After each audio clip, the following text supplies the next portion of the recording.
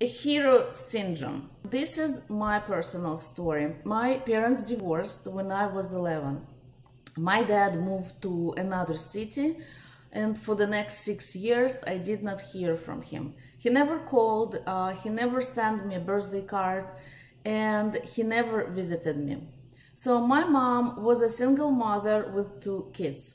At one point, uh, she was dating a guy, but their relationship did not work out. So my mom used to say that nobody wants to marry a woman with two kids. She always said that uh, she does never have time to date because she has to take care of two kids. So she decided to be a good mother and dedicate her life to raising good children. And she really wanted to succeed in her role as a mother. During my teenage years, I wanted to play with my friends. I wanted to go to my friend's house, but my mother and my grandmother were telling me that I could not because I had to help my mom with chores. Uh, she does everything for you, my gra- grandmother uh, told me. Uh, you have to help your mom. She is uh, always here for you. She does everything for you day and night. Uh, it is not right for her to do everything herself. So the feelings of guilt were raising and um, growing inside of me.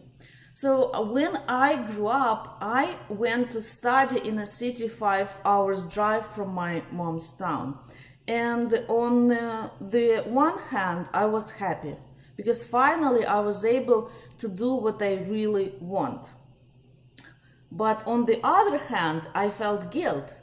I was guilty for leaving my mom. I felt obligated to make my mom happy because she did so much for me. So I stopped uh, taking money from my mom when I was uh, 17 years old. Um, when I moved to another city, I was attending a university during the day and I had a part-time as a waitress in a nightclub during the night. So I was working a lot and I saved enough money and they took my mom and my brother on a vacation. So in my mom eyes, I was the best daughter ever. She succeeded in uh, her desire. She had succeeded in raising a good girl. So she was proud of having such a caring child, but she was never fully happy because in reality she was very lonely. So she has dedicated all her life, all of her time to her children. She did not set aside time for her private life. No time for dating, no time to hang out with her friends, no time for her career, and no time for hobbies. So all of her life was about her kids. And I, as a child, felt so obligated to her. No matter where I went, no matter uh, what I did, uh, the feeling that my mom sacrificed her life for me and my younger brother was always in my head. So it took many years of therapy to realize that no matter what I do, good or bad, I am not responsible for my mom's happiness. And it was extremely hard to give up that idea. And every child wants his parents to be proud of him.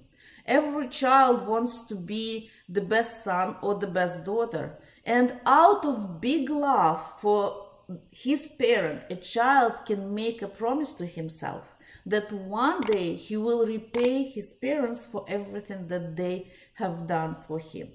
When I grow up, I will buy you a house, mommy. When I grow up, I will take you on a vacation, anything, anywhere you want. When I grow up, I will make a lot of money so you don't have to worry about it. So instead of pursuing his own dreams, a child will pursue the idea of making you happy. So your child might not attend the university uh, that he wants because it is in another state. Your child might not accept a good job because it's far from his mother's house. Your child might, not create his own happy family because he will spend all his time, money, energy trying to make you happy. Uh, let me tell you another story. A woman came to my private session and she said, I am a homebody. I work from home. I don't really like to spend time with friends. I don't really have friends. I like to read books and uh, take care of my house. And I like my lifestyle, she said. So the problem is, two weeks ago, uh, my five years year old son uh, refused to go to school. He loves school. He always enjoys playing with other kids. But two weeks ago, he told me that he does not like it anymore and he wants to stay home like his mommy. Uh, and this woman was terrified. She knew uh, that this was not her son's true desire. So she tried to convince him otherwise. But her son told her, Don't worry, mommy, I am okay. I like spending time with you. I love you more than my friends. I'm gonna be okay. We're gonna be okay together. And this woman, she came uh, to me terrified, asking what to do. Uh, and uh, you might uh, be asking too, how do I raise a successful child? And this is a very good question, and it's not simple, uh, but the answer is if you are not happy yourself, then you cannot raise a happy and successful child. Your child will copy your behavior, your values, and your limiting beliefs.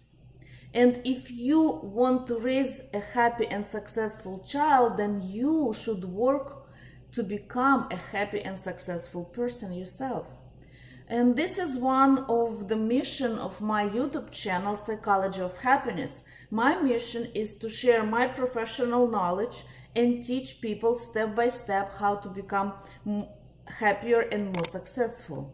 And I want to be clear that I'm not suggesting uh, that you should ignore your parental responsibilities. I simply suggest that uh, your child should not be the first and only priority in your life. So your child should be one of your priorities. And in my previous webinar, uh, scarcity mentality versus abundance mentality, I talk about six categories that uh, you have to fulfill in order to become happy, in order to become fully happy. And I encourage you to watch this webinar. At this moment, I have uh, I, I have released 10 webinars and today's, uh, I believe, uh, webinar number, number 11. And you can find um, links to all my webinars in the description below this video. Uh, you can also go on my website. Uh, it is www.elenasemenek.com and you can watch all webinars free of charge on my website as well. Uh, today I would like to invite you also to my online course, uh, Program Yourself for Success. And um, I would like to tell you that you can attend it for free. So let me tell you a little bit more about the course and then I will tell you how to attend it for free. So the online course, let me bring the slide up to the screen. So the online course has six sections and on the first section you will train your brain to live in the abundance mentality and create a long wish list. On the second section, you will learn six important rules of how to create your wishes to increase your chances of realizing them. On the third part of uh, this online course, I will teach you about five behavior patterns that you should be aware of. Uh, those five patterns are not allowing us to be successful. And I will give you simple instructions, simple rules, simple techniques, what to do with those five detrimental behavior patterns. Uh, part number four of this online course is about our emotions and feelings because usually uh, when we in a stressful situation, uh, we cannot control our emotions. So I will teach you how to stop being in a victim's role and how to start believing in yourself. And I will teach you how to use your anger, sadness, disappointment in a healthy way. How you can use your negative emotions to pursue your goals. The fifth part of uh, the online course program yourself for success is the most important part in my opinion this is my must must to learn part and uh, here i teach you about internal permission for realizing your dreams. Uh, being kids we learn not to be selfish and probably you teach your kids the same right? Not to be selfish don't touch this this is not for you. No you're too little. You must share it with your friends you must share it with your sisters. So res research shows children mm, between age 3 to 7 can hear the word no more than 50 times a day. 50 times a day and as a result, most of us struggling with self-esteem and self-worthiness. So therefore, we cannot believe in our dreams. We do not allow ourselves to dream, even to dream. You know, a lot of people do not allow themselves to dream. They cannot create a long wish list, maybe three items, that's it. So we do not allow our, ourselves to have all the good things that we dream about. And in this online course, uh, you will have an opportunity to work on your internal permission to achieve all the dreams and goals that you have. Uh, the part number six, the sixth part of this online training is my favorite one. The fifth one was the most important, but the sixth one is my favorite one because on this uh, step we will do what is called movie therapy. Uh, movie therapy is a great tool uh, when we uh, do self any self-improvement work, any self-development or self-discovery work.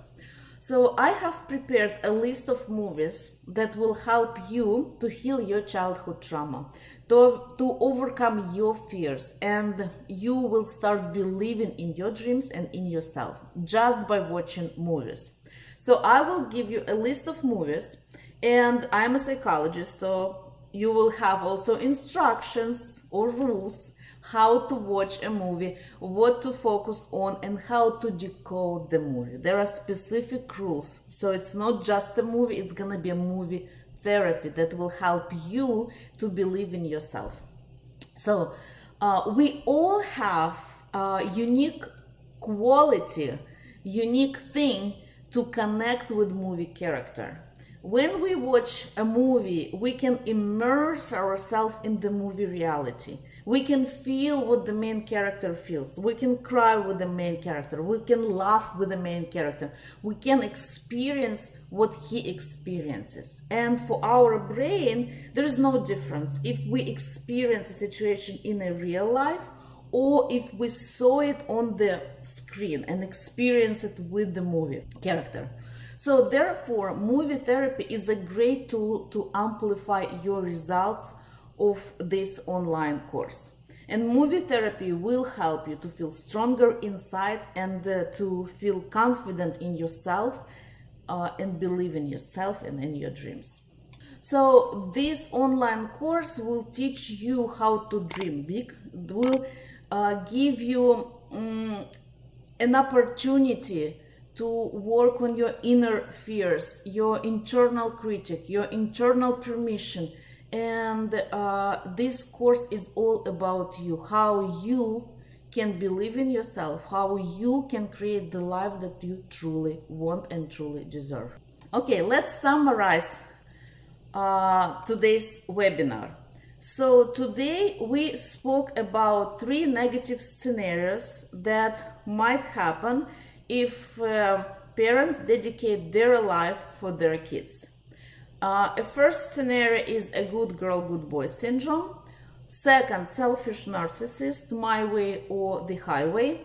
Third one, time to repay a hero syndrome. Then we spoke about how to raise a successful child, and if you are not fully happy yourself, you cannot raise a successful child. Child, I'm sorry, but this is true. Your child will copy your behavior. Will child, your child will know that you're not happy, and your child probably will copy your behavior and will learn how to sacrifice his life in the future or become a selfish narcissist, right? So, and then I, I told you about um, how to program yourself for success. And if you would like to know more about this program, please visit my website. So if you like this video, if you enjoyed this video, please give me thumbs up and subscribe to my channel. Also, uh, I encourage you to subscribe directly on my website and there are very short form, your name, your email, that's it, your country, your name, email and your country. And then you will receive notification about uh, the webinar uh, three days uh, in advance and then on the day of the webinar. If you subscribe to YouTube only, then YouTube sends you notification uh, like I think five minutes before the webinar starts and it might be too late for you, right? So if you subscribe on my website, you will receive notification three days in advance before the webinar. And also you can go on my website and see the schedule of upcoming webinars. Again, please give me thumbs up if you like this webinar, if you find it helpful. Share it with your friends, share it on your Facebook, and I'm looking forward to seeing your questions in your comments below this video. Thank you for being with me. Thank you for watching my video. My name is Elena Semenek, and this is Psychology of Happiness, where happiness is the purpose of life. Okay, bye.